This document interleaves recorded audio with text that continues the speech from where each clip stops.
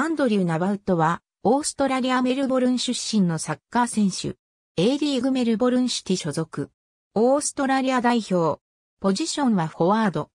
レバノンにルーツを持つ。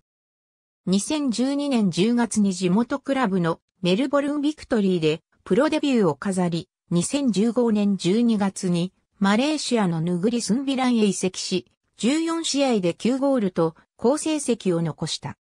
2016年7月19日、再びオーストラリアに戻り入荷するジェッツと2年契約を結び、ナバウトはチーム最多の8得点を挙げるも、チームは最下位に沈んだ。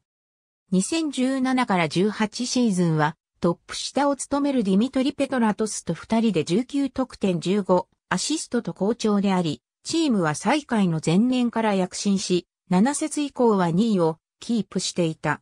3月2日にはシドニーモーニングヘラルドによって J リーグの浦和レッズが獲得に興味を持っていると報じられていた。移籍が報じられた時点での10得点7アシストはオーストラリア人選手トップの成績であった。2018年3月5日に気泡通り浦和に完全移籍し、4月1日の第5節ジュビロ岩田戦の後半25分に竹富康介との交代で移籍後初出場を果たした。5月2日、第12節川崎フロンターレ戦の後半25分、最終ラインの裏に抜け出した場面で、川崎 GK チョン・ソンリョンと接触し右肩を脱臼。このプレーで、チョン・ソンリョンは、決定的な得点機会の阻止により、主審より退場処分を受けている。この試合は、浦和が2の0で勝利した。脱臼は FIFA ワールドカップ中断期間中に完治したが、オーストラリア代表の一員として参加したデンマーク戦で再発、再離脱を余儀なくされた。10月7日のベガルタ仙台戦で5ヶ月ぶりに復帰を果たした。2019年7月、古巣のメルボルンビクトリーへの移籍が発表された。